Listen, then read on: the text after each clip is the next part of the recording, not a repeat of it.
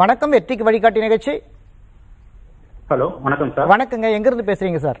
Sir நான் சென்னையில இருந்து டேவிட் பேசுறேன் சார். டேவிட் என்ன உங்க கேள்வி சொல்லுங்க டேவிட்.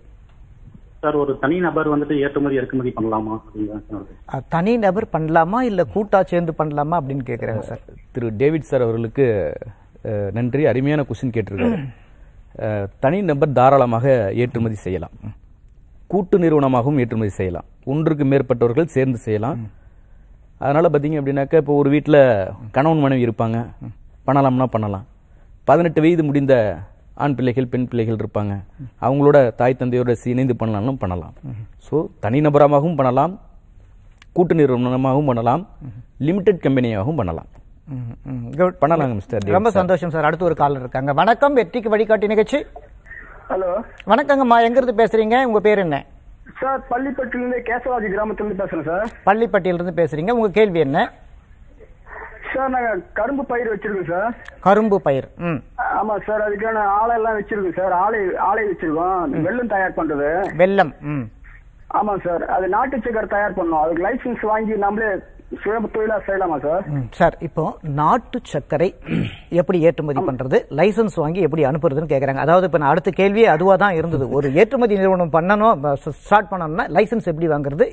அதை கேக்குறாரு மிக ஒரு அருமையான ஒரு தான் எடுத்துட்டு வந்திருக்காரு. இன்னைக்கு வந்து இயற்கையை வந்து பார்த்தீங்கன்னா இந்த கொரோனா பீரியட் காலகட்டத்தில் மக்கள் இயற்கையோட வாழணும்னு கற்றுக் கொடுத்துருக்கு. ஸோ இன்னைக்கு வந்து எல்லாரும் வெள்ளை சர்க்கரையை வந்து இன்னைக்கு வந்து பயன்படுத்திட்டு இருக்கக்கூடிய காலகட்டத்தில் நாட்டு சர்க்கரையை தயாரிச்சுக்கிட்டு இருக்காரு இல்லைங்களா? மிகப்பெரிய ஒரு பாராட்டணும். பாராட்ட வேண்டிய விஷயம். அதையும் தாண்டி இன்றைக்கு நம்ம நாட்டில் மட்டும் கிடையாது இன்னைக்கு வெளிநாடுகள்லையும் இந்த நாட்டு சர்க்கரை அதிகமாக தேவைப்படுகின்றது. நாட்டு சர்க்கரை அதிகமாக தேவைப்படுகிறது. ரேட்டும் அந்த அளவுக்கு அதிகமாக லாபகரமாகவும் லாபமும் இருக்கு.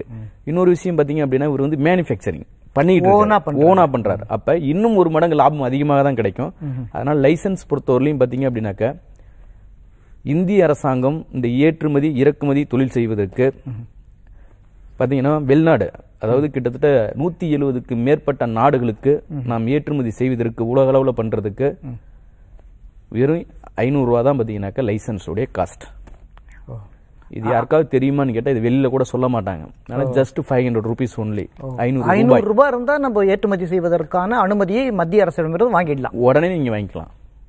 அதற்கான வாங்குறதுக்கான விஷயம் என்ன அப்படின்னு? குட் ஓகேங்களா? ஐநூறு ரூபாயில லைசன்ஸ் வாங்கிடலாம். உங்களுடைய வீட்டையே அலுவலகமாக பயன்படுத்திக் கொள்ளலாம் முதலீடு அதாவது ஏற்றுமதி தொழிலுக்கான முதலீடு நம்ம கூட இருக்க நண்பர்களும் வீடும் ஒரு கம்ப்யூட்டரும் கொஞ்சமா தான். அவ்வளவுதானே சார்? தட்ஸ் ஆல் ஓ சரி just five hundred rupees only ஏற்றுமதி லைசன்ஸை பெற்றுவிடலாம். உள்நாட்டு வாணிபம் செய்வதற்கு தான் ஜிஎஸ்டி தேவை. காஷ்மீர்ல இருந்து கன்னியாகுமரி வரலையும் நம்ம பண்றதுக்கு ஜிஎஸ்டி தேவை. ஏற்றுமதி தொழிலுக்கு ஜிஎஸ்டியும் அவசியம் இல்ல. இல்ல. அவசியம். அவசியம்? அவசியம். அவசியம் எதுக்கு அப்படின்னாக்க இப்போ ஒரு பொருளை நம்ம இங்க இருந்து வாங்கி ஏற்றுமதி பண்றோம். அந்த மூலப்பொருட்கள் வாங்கும் பொழுது ஒரு பேக்கிங் பண்றோம். அதை ஒரு நூறு இடத்துல இருந்து வாங்குற மாதிரி இருக்கும். அப்ப அந்த ஜிஎஸ்டி நம்ம கொடுப்போம் இல்லைங்களா? அப்ப ஜிஎஸ்டி திருப்பி கலெக்ட் பண்ணணும் அப்படின்னாக்க இந்த ஜிஎஸ்டி இந்த ஜிஎஸ்டி இருந்துச்சு அப்படின்னா நம்ம வந்து வாங்கி கொள்ளலாம். அதனால வந்து ஏற்றுமதியை பொறுத்தவரையிலும் பாத்தீங்கன்னா ஜீரோ பர்சன்டேஜ் ஜிஎஸ்டி ஏற்றுமதி ஜிஎஸ்டி ஏற்றுமதிக்கு மட்டும் ஜீரோ பர்சன்ட் 0% இல்லைங்களா